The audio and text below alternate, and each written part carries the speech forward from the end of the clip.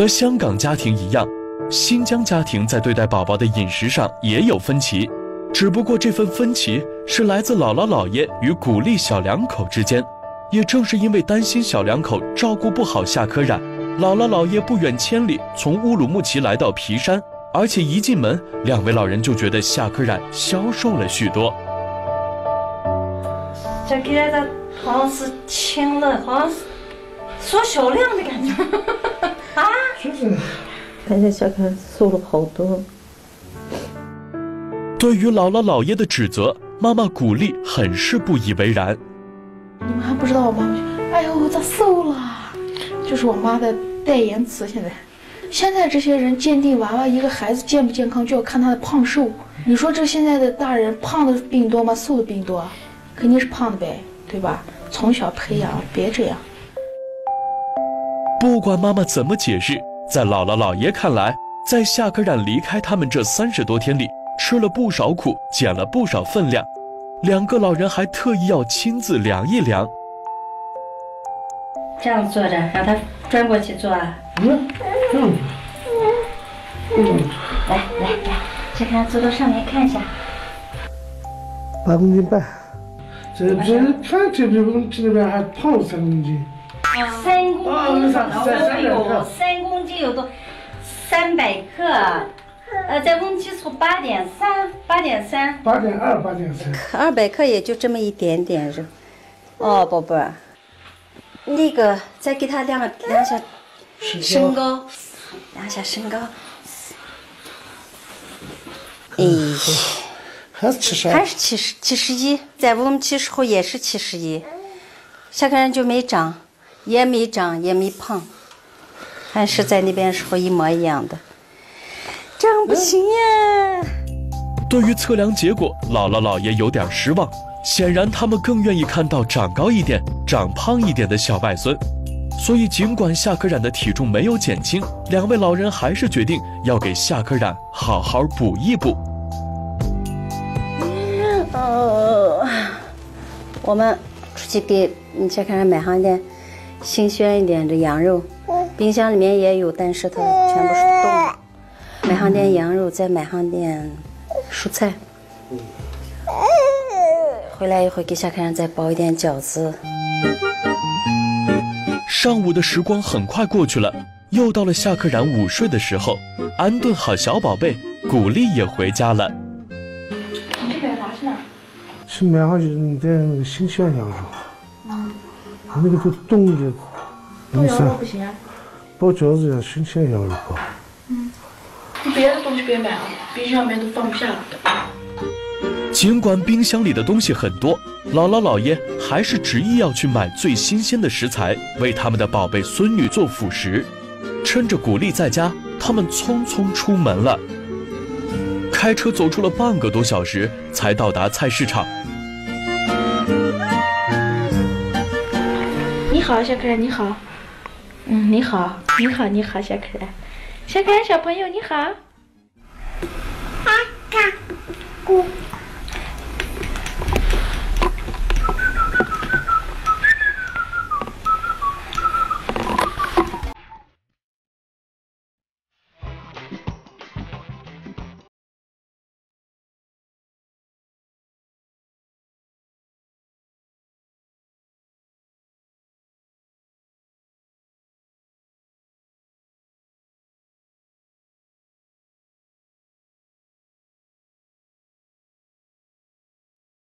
对于姥姥姥爷来说，恨不能把市场上所有好吃的东西都给宝贝孙女搬回家。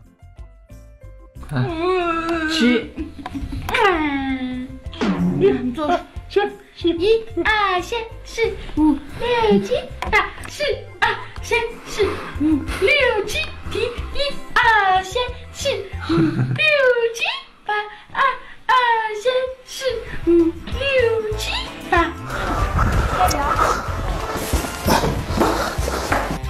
看到大包小包提回家的姥姥姥爷，古丽知道他们又要给夏可染做大餐了。古丽并不赞同姥姥姥爷的增肥计划，但是她也不想让两位老人的好意无处释放。哎呀，你们俩真是的，我们一出去以后，一会会就把夏可爱就这样子，哦哟，咋样子了？又没把他虐待下？哎呀，嗯，虐待了。哈哈哈哦，不能，你看，嗯，爷爷奶奶不在了吧？不抱你说的，小可爱就，呃，以后看一下爸爸，以后看一下妈妈说的。哎呦，不让我说，不让我说他爸爸和妈妈，不让我说吗？姑娘，你看。简单的吃一口市场买回来的熟食，姥姥姥爷便轮番开始了紧张的忙碌，一个带着宝贝外孙女，另一个负责为夏可染做辅食。我切太大，他也没夹，他咋吃啊？嗯屁股有点红。嗯，我的，嗯，孙子啊，嗯，嗯，嗯。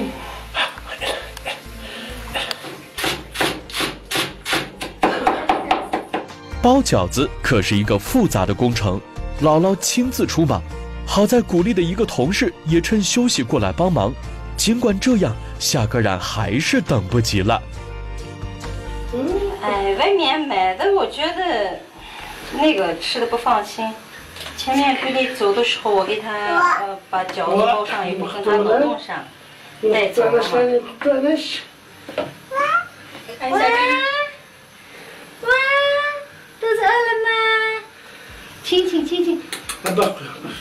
那是不不，咦，瞌睡的这种的。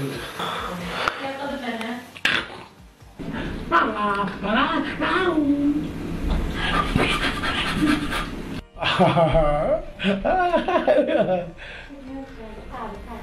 啊！哦，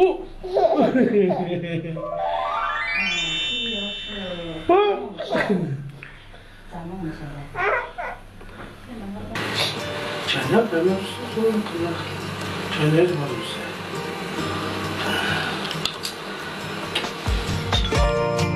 看到夏可染吃的如此开心，姥姥姥爷十分高兴，带着满足和期待，他们又开始为夏可染的第二顿辅食忙碌。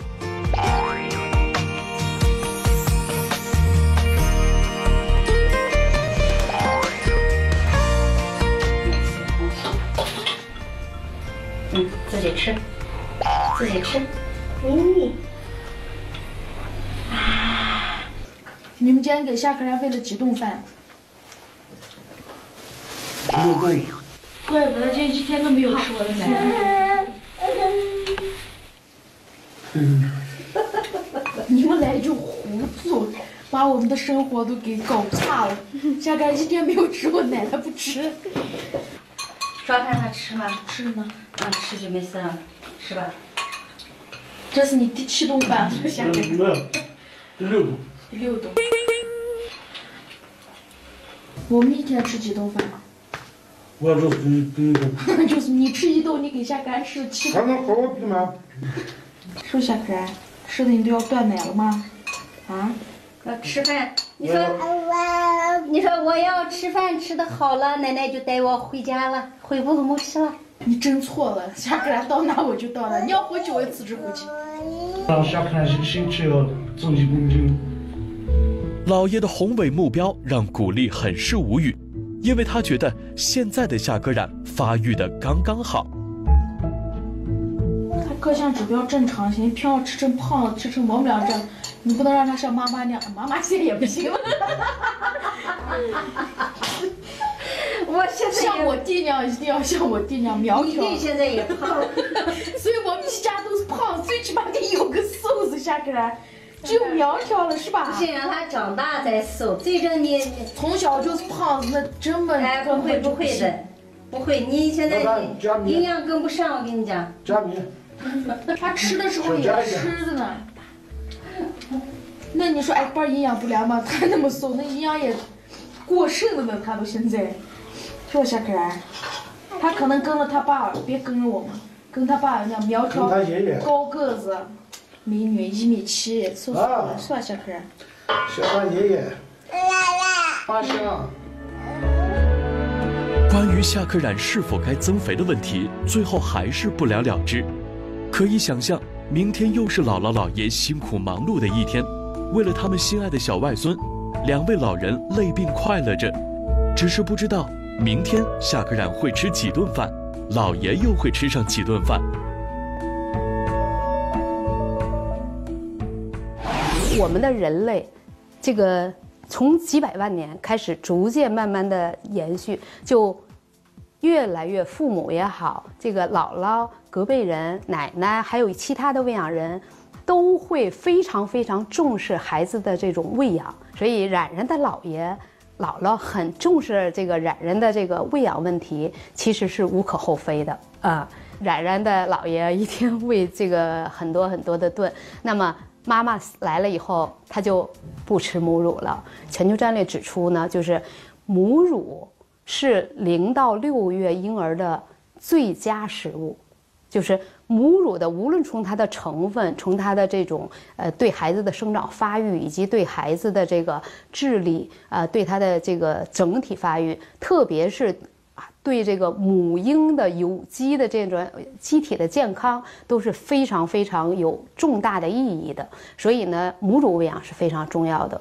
六个月以后开始添加辅食了，也就是需要给补充母乳以外的食物了，并不意味着母乳就不重要了。但是如果我们喂的这个补充食食物次数太多了，势必要影响乳量的摄入。嗯，所以呢，还是要适当。一般一岁以后的宝宝呢，要是喂母乳的话，那就是可以喂两到三餐，就是添加辅食。那么也可以喂三到四次的母乳。当然了，还是根据孩子的这个需求来那个按时的哺乳。食物和乳量它有一个正常的一个比例，孩子呢才能健康的这个成长。